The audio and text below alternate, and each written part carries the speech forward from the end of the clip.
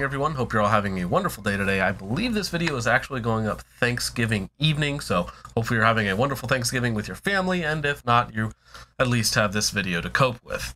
Now, we're today we're going to be talking about the Vector Paragon 1 by 16. This is a prism optic, a 1x prism optic, and perhaps one of the best on the market. Now, of course, if you want to help me out personally, go ahead and like, share, and subscribe, as that is all free and does help me out quite a bit. On top of that, go ahead and comment your favorite Thanksgiving dish in the comments down below. Getting into specifics on the Paragon 1X Prism, it is of course a fixed magnification 1X prism, which is very good for people who have astigmatisms or otherwise can't really use red dots or holographic style optics. This does give them a 1X option that in this case is very good.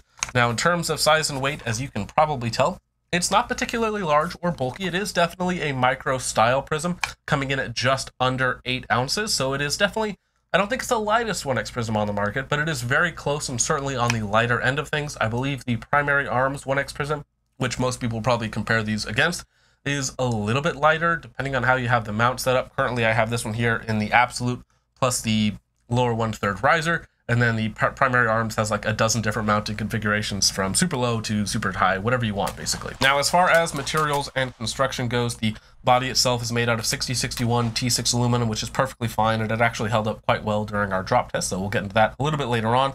If we talk about the mount for just a moment, the mount is one area that I was a little bit skeptical about it because it didn't look all that confidence inspiring. However, it does use dual cross bolts. They're not the largest cross bolts out there, but they are at least adequate. And the fact that there is two of them does give me uh, a little bit more confidence in the mount itself.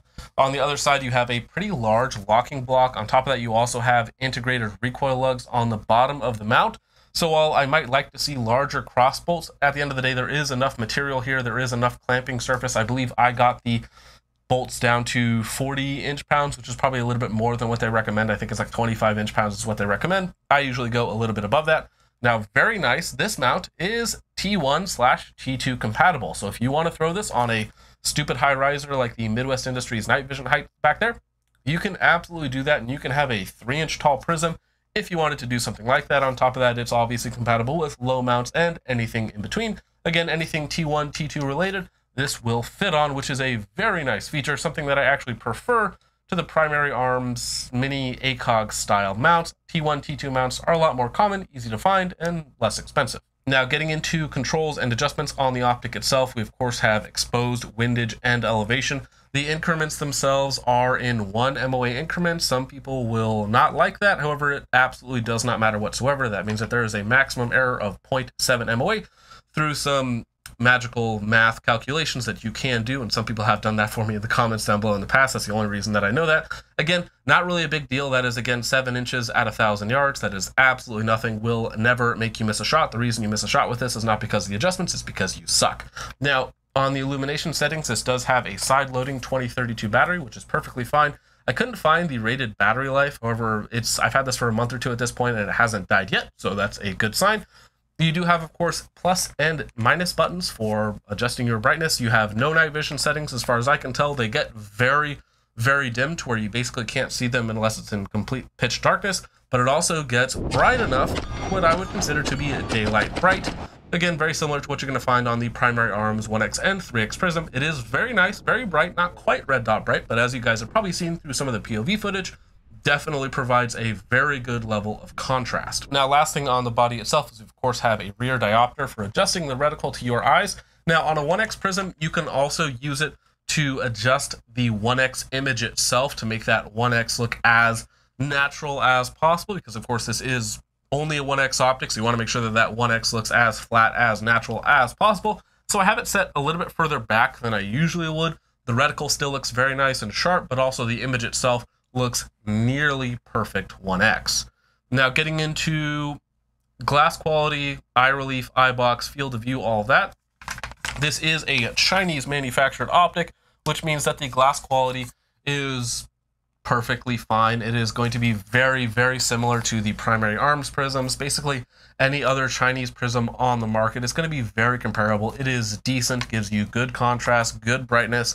It tends to be maybe one small step above like a cheap LPVO, just because it's a lot less compact, or sorry, it's a lot less complex, much more compact. Light transmission tends to be maybe a little bit better. And again, this 1X prism is perfectly acceptable and going to be on par with basically every other Chinese optic out there. Now, getting into eye relief itself on the Paragon, you have a very, very forgiving eye relief.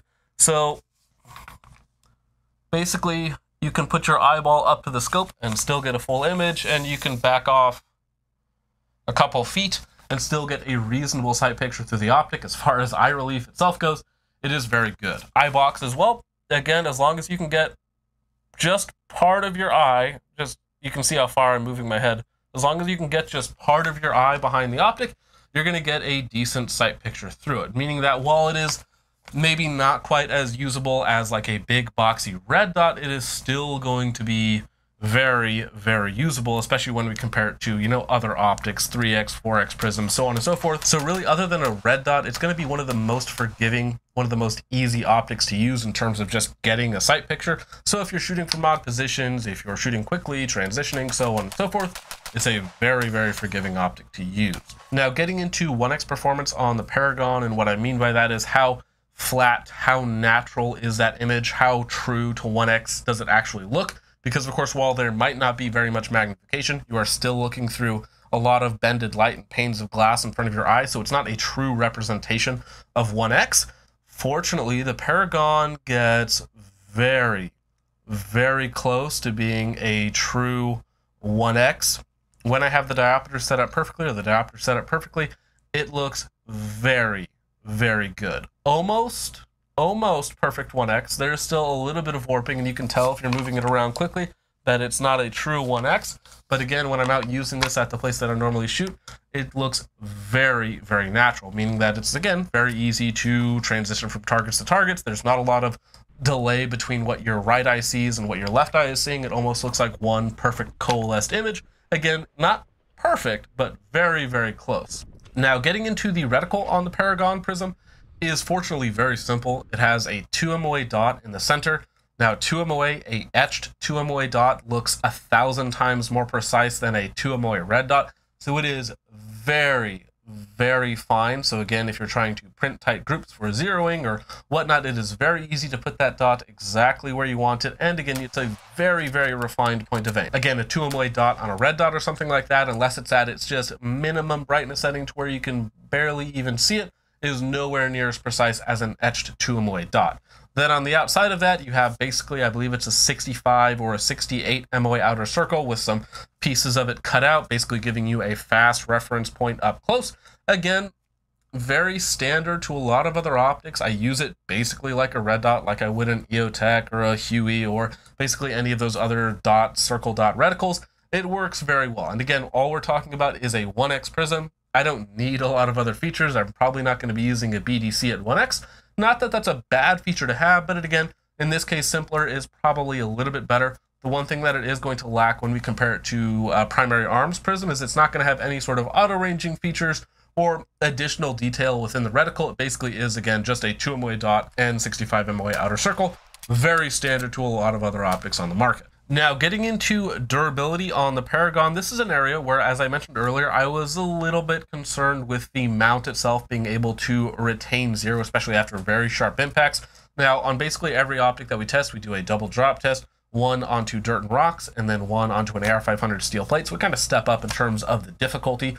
Most optics either die or fail at the AR500 steel plate. This one here, actually, um, did a lot better than I expected it would do. So we actually ended up doing two shoulder height drops onto dirt and rocks because the first drop that I did landed a little bit funky, so it didn't really count. So I went ahead and did two shoulder height drops onto dirt and rocks. Now again, before we do all that, we do a five round control group. Now, because I'm just using a 1x prism, I did the control group, and this is on a 4-inch nine millimeter. This is actually the Bear Creek Arsenal bufferless nine millimeter that I got in from a viewer for review. Spoiler alert, it's actually pretty decent. Now, again, we do a five round control group. Again, in this case, it's about 30 yards. Then we went ahead and did two drops onto dirt and rocks, followed by, again, another five round group. There was one flyer in there. That first round landed like an inch and a half low for some reason, not really sure.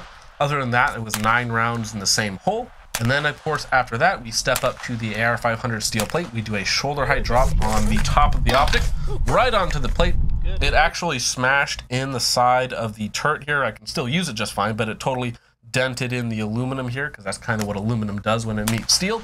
But again, we do another five round group after that, and we got basically 14 rounds in about an inch and a half. It basically just completely ate out the center of that circle and I don't really have a problem with that. Now, if we had backed it out a little bit further to say 50 or 100 yards, maybe you would have seen an inch or two shift in a certain direction. Again, at 30 yards, they basically overlapped perfectly. Now, even if we were to extrapolate that out and say that there was a maximum shift of like one MOA or even two MOA, that's very close to being within the margin of error of the parallax itself. If I get down on the gun in a different way, because of course I get off the gun, drop the gun, then get back down to do a shot from the prone position, so again, one to two MOA shift maximum, or basically no shift in zero whatsoever. And of course, the optic is still usable. It didn't die. The mount itself did hold up just fine. And if you did want to switch out the mount, in this case, I don't think you need to. It passed the drop test perfectly. But if you did want to switch the mount out to something lower, taller, so on and so forth,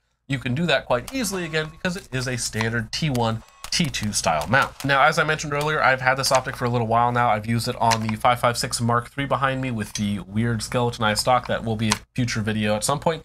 I've used it on, of course, this Bearcreek Arsenal 9mm bufferless system for about 500 rounds of 9mm now. Right now, we're a little bit under a 1,000 rounds on the Paragon, but with the drops and everything else, I think that we're at a decent point to talk about it. And as far as performance goes, as I mentioned, the 1X, when you get it set properly for your eyes, distance away from you, diopter, all of that sort of fun stuff, the 1X is very good.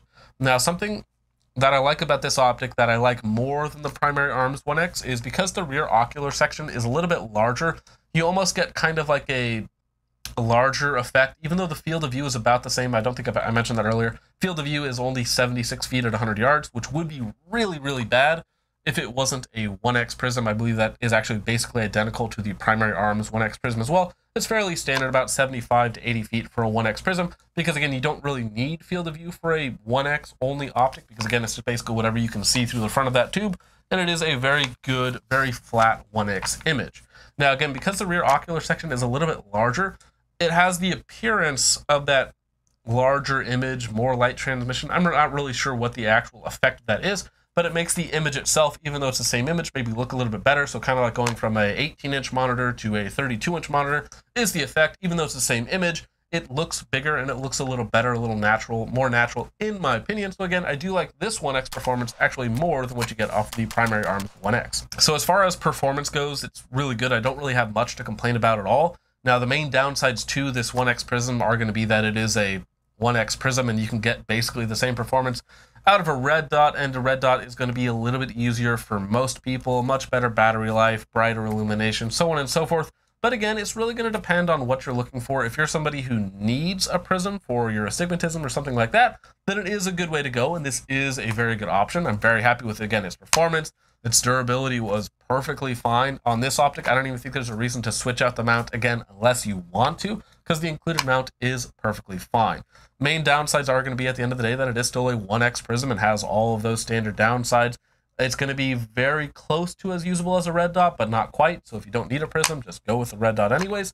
Or if you're into some sort of like end of the world apocalypse scenario, this does not require batteries because it does again have an etched reticle. So that's about it for me on the Vector Paragon 1 by 16 Prism Optic overall, again, it does all the prism things pretty well. If you're looking for a 1X prism, this is a very good way to go. This or the primary arms 1S, 1X SLX are probably going to be your two go-to options. This one here, I believe, is a little bit cheaper. Uh, 199 MSRP, and then it's probably on sale right now for less than that. So again, if you like that sort of thing, it's probably going to be a good option to look at, to consider. But at the end of the day, that is, of course, up to you guys. So thank you so much for watching. I hope you all enjoyed. Let me know what you guys think of the Paragon in the comments down below. And with all that out of the way, guys, thank you so much for watching. I will see you in the next one. Peace off.